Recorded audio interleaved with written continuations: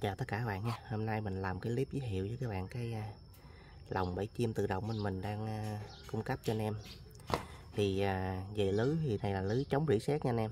Lưới lỗ một phân hai mạ trị chống rỉ ha. Rồi lưới này rất là cứng nha anh em. À, lồng này có thể mình rớt từ trên cây 5 6 mét xuống dưới vẫn bình thường nha anh em không xi nhê gì ha. Rồi về chiều dài thì chiều dài nó được cỡ gần 50 cm nha anh em. Khổ lưới là 50 nhưng mà khi làm lại thì nó, nó còn có bốn mấy nha anh em. 49 mấy. Chiều cao nó là 20 anh em 21 luôn nha anh em. Chiều ngang nó là 17 chiều rộng nó là 17 phân ha 18 phân. Đó. Rồi, nguyên tắc 7 là khi mình bẫy mình bỏ mồi trong đây nha anh em. Bỏ mồi trong cái ngăn nè, ngăn để mồi nè anh em thấy không đây có cái ngăn để mồi nè.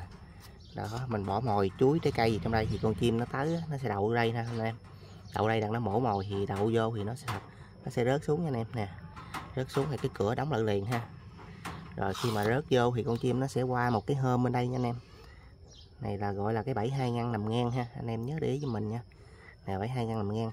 Nó sẽ qua cái ngăn bên đây là nó sẽ không trở lại được nha anh em. Tại vì đây là cái hôm chỉ qua được chứ không lại được. Đây con chim muốn muốn muốn bay trở lại thì nó phải vỗ cánh mà vỗ cánh thì không có qua được cái hàng hôm này nha anh em đó, là khi mình bắt ra thì cái, đây có cái cửa bắt ra nè. Mở cái dây này ra, bắt cái cửa ra nè nha anh em. Đó, đây là cái móc treo.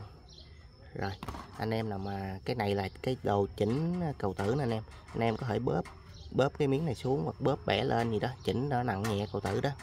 Hoặc là gắn thêm miếng sắt ở vô trong cái này nữa. Đó, anh em muốn chỉnh cầu tử thì kiểu nào cũng được. Rồi, anh em nào cần lòng bẫy chim tự động thì liên hệ mình. Số zalo mình là 0936 059 090 nha anh em. Hàng mình ship toàn quốc chào tất cả anh em nha.